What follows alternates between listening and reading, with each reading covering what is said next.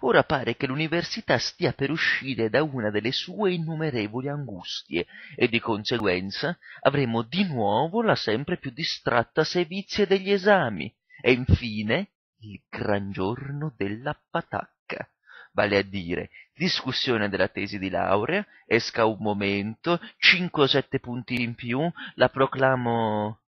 il proclamato ha il vestito buono e dà la mancia al bidello il primo che lo chiama dottore.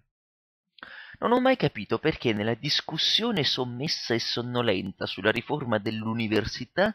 non sia mai stato posto con adeguata aggressività bastava alzare un momento il dito indice il problema dell'abolizione della tesi di laurea. Dalla mia modesta esperienza accademica non posso non trarre la certezza che la tesi di laurea in realtà è un puro e semplice fatto allucinatorio un cerimoniale in senso psichiatrico come quello di non so quale personaggio che prima di dormire doveva disporre per sette volte un limone con una punta verso ciascuna finestra della stanza.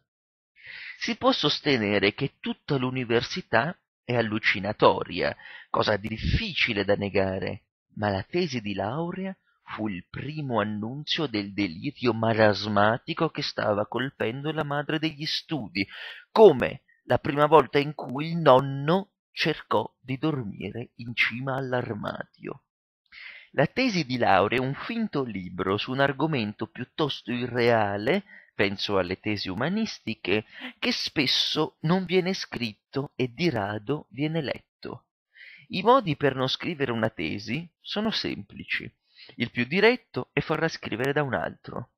in genere sono le tesi migliori, ma per lo più il candidato non la legge con attenzione e fa confusione, non si ricorda che cosa vuol dire una parola dotta e protervia e senso di colpa lo dirottano nel nulla. Altri mettono insieme citazioni da libri sull'argomento indipendentemente da qualsivoglia esigenza di coerenza intellettuale. Ricordo di aver seguito una tesi su Shaw nella quale testi marxisti, ateocristiani, liberali, conservatori, deutero-leninisti si giustapponevano in un perfetto ecumenismo critico. Qualcuno fa la tesi con coscienza, bisogna comprenderlo. Il coscienzioso che abbia, poniamo, una tesi sul gatto, ricercherà e schederà tutta la bibliografia sul gatto si recherà a sue spese a Lovanio dove ha scoperto esiste un testo assolutamente fondamentale sul gatto, farà fotocopiare dispersi articoli usciti in riviste della provincia canadese, organizzerà il suo lavoro, il gatto nella storia, il gatto nelle religioni, il gatto come simbolo onirico, sociologia del gatto, il gatto due punti, l'integrazione negata. Che i gatti stiano per la strada non lo interessa, non lo sa e comunque è una nozione dispersiva.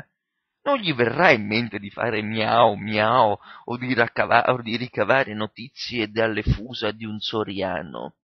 Probabilmente si persuaderà che il gatto che gli accade di vedere è un'allucinazione, indizio certo che ha lavorato con coscienza e completezza e esaurito. Quando avrà finito andrà in montagna e al ritorno gatti non ne vedrà mai più